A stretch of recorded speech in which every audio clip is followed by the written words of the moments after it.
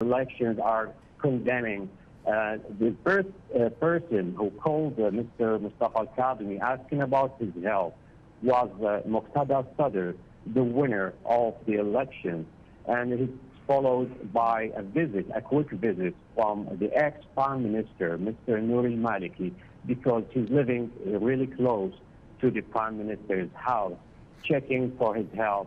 And this, uh, all these things happening in this time is really showing us or giving us a message that some side is trying to escalate things for this uh, uh, caretaker government uh, because the prime minister cannot really take in really strong action with his, uh, uh, you know, like for being like only caretaking government. We cannot take this sensitive response toward these militias that are really strong and affiliated to a regional uh, country.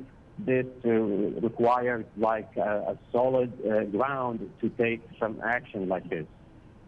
Thank you, Laith Al, Al Haldar in Baghdad for the latest on the Iraqi Prime Minister Mustafa Kadhimi's survival of an assassination attempt.